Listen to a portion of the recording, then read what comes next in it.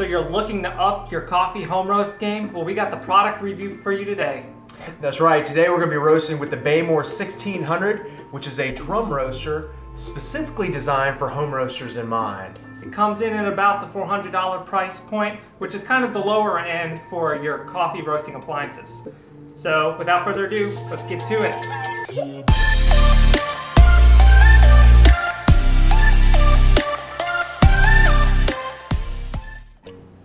All right, so today I went ahead and weighed up about a half a pound uh, of coffee. And this is the Behmor, it's a drum roaster, so the drum is gonna continuously turn within this convection uh, oven. And the benefits of this is it can roast, of course, a whole lot more than you can in a skillet or in a popcorn popper, uh, which is very beneficial for those who just wanna have one good roast. Another benefit of this is that the Behmor itself has specific presets and manual controls in which you can ramp up temperatures at your discretion, lower them, hold them at whatever you will, and it even has its own timer. So let's go ahead and get started. So within here we have our chaff collector right here that's going to sit underneath of our drum as it goes and it's going to collect all of our chaff. So what I'm going to do is add my green coffee right in the drum, close it up, and insert it right in. And then I'm gonna stick chaff collector right underneath. Now I've already preheated this for about two minutes, uh, just to get all the mechanics and everything warmed up and also so that there's uh, a nice uh, warm atmosphere.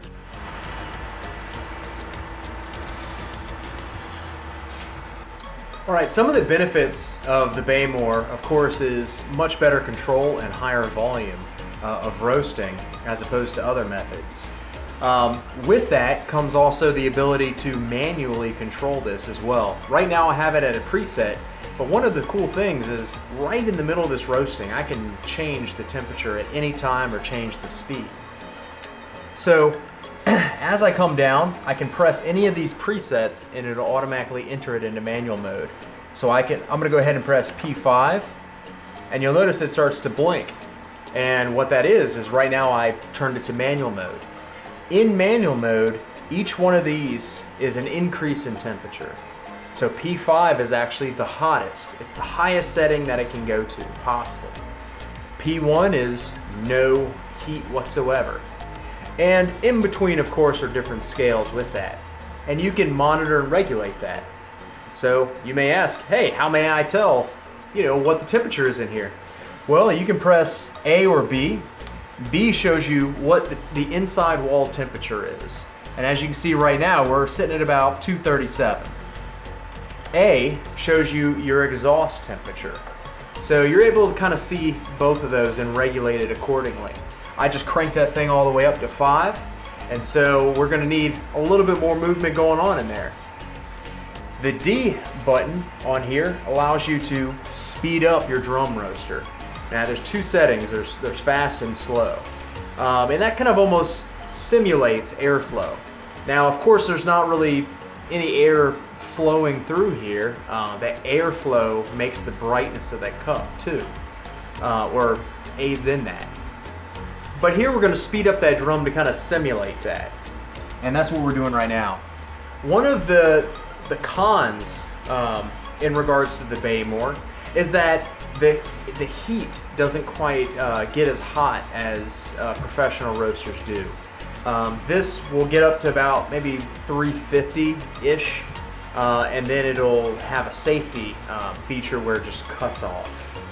And uh, if you look at professional roasters and ones that, that try to achieve those uh, really good light roasts, usually they, they send it up really high and ramp it up really quick.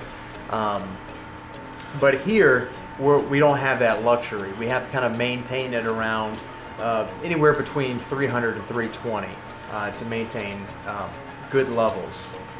And currently right now we're at 280, so it's ramping up pretty good.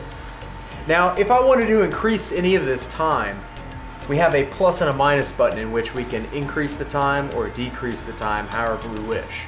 And remember, you never want to leave this. Even though this thing is pretty automatic, you never want to leave it because your beans can always get away from you. Um, there's been many a time I've gone in there to, to answer my wife about something and I get back and I just see smoke billowing out of this thing and my air, an error message because they got way too high.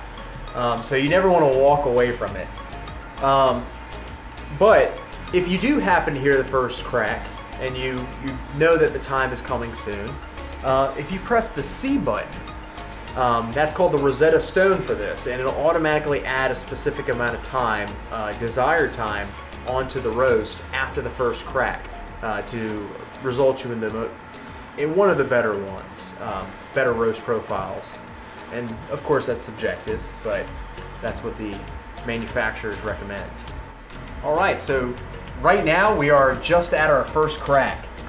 And We can hear it rolling, so I'm actually gonna reduce some of that heat to try to draw it out as much as possible. Um, but while, while that's going on, uh, one thing I did want to mention, another pro for the, uh, the Behmor, is it actually has a smoke suppression um, feature on the back. So if you are roasting in your house, uh, this is a pretty good thing because, um, of course, a skillet or something would billow smoke out. Um, we can hear that rolling right now. Uh, but yeah, that is one of the, the good pros of the Behmor is that it is it is very uh, much intended for roasting inside. With this, since it's a drum roaster and it's continuously moving, there is going to be a lot more consistency with this roast. Uh, especially like you can hear that a lot of a lot of these um, cracks are a lot closer together than they were in the in the previous episodes, or if you would in a, a skillet or anything like that. Um, so that, that's usually a good thing. Um, trying to draw it out or keep them tightly bundled is ideal. All right, so now we're about to take this out. Uh, one of the features that's for this Behmor is it has a cooling feature. that you can press and it just will cool inside um, in the, the Behmor. But unfortunately, nobody I know uses this online or whatever it is, and I don't use it either. I turn it on just to show you. I actually cut it off and take it out. And why, you might ask? Because it's scorching hot? Is because cooling also plays a big factor on the taste as well. And so the mechanics are still hot, so I'm gonna allow that to cool in the, I'm gonna allow that to cool, but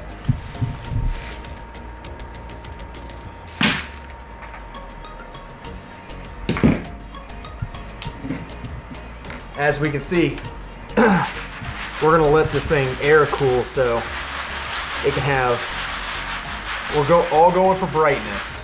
And I know that smoke suppression just kind of went out the window because all this smoke's up now, but I guarantee you taking it out now will give it a, a much better flavor. Thanks for watching this Cork and Java review of the Behmor. And Leave a comment below with what kind of coffee roasters are you interested in. Also, we got a Facebook group. It's Cork in Java. You can join that group and we have lots of discussions on different coffees and also wine and other beverages as well. So join us there. We got a Twitter. It's at Cork Java and a Pinterest, which is at pinterest.com slash Cork and Java. I'm hoping you enjoyed this video. And if you want to see other videos like this, please smash that subscribe button below. And until next time, bottoms up.